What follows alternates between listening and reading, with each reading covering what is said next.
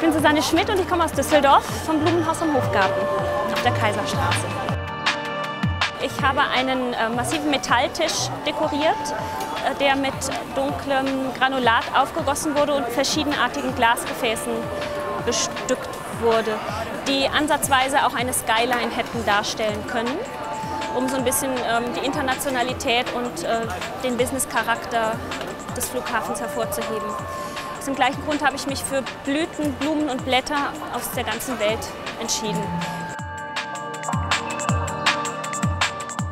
Meinen Titel hatte ich ganz schnell raus, das war die Sonne Afrikas.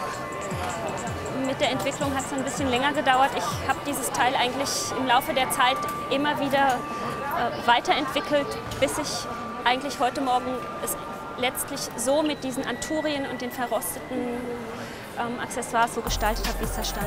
Es gibt eine verrostete Schale mit einer verrosteten Platte, die als Sonne dargestellt wurde, aus der dann getrocknete und frische Blüten rauskamen. Ich binde für mein Leben gern Sträuße, aber ich arbeite sehr gern mit kompakten Formen und arbeite, spiele gerne mit den Farben. Und mit den vorgegebenen Sommerblüten sollte ein transparenter Strauß gestaltet werden. Damit habe ich mich ein bisschen schwer getan. Susanne Schmidt. Die silberne Rose Gewinnerin. Es ist großartig.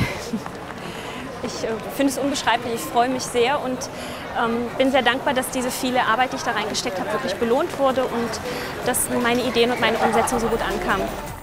Dass ich zur Goldenen Rose nach Berlin fahren darf, ist absolut großartig und unvorstellbar. Soweit habe ich bisher noch überhaupt gar nicht gedacht. Äh, es fühlt sich sehr gut an, auch wenn ich da weiter noch überhaupt gar nichts zu sagen kann, noch nicht so weiß.